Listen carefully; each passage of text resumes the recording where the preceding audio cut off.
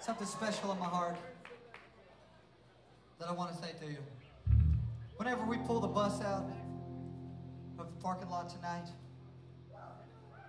I want you to know that I'm going to be singing this song for probably the next 10 miles whenever we pull out of the parking lot tonight. So I dedicate this song to everyone here tonight, Murray Hill Theater, Jacksonville, Florida. From my heart to yours. If I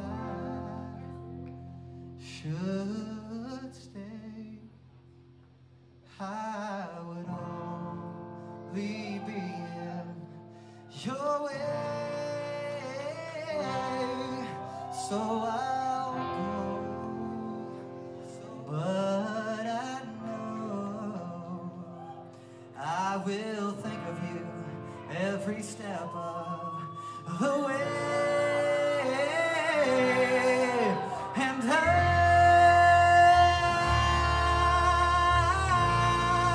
will always love you. Will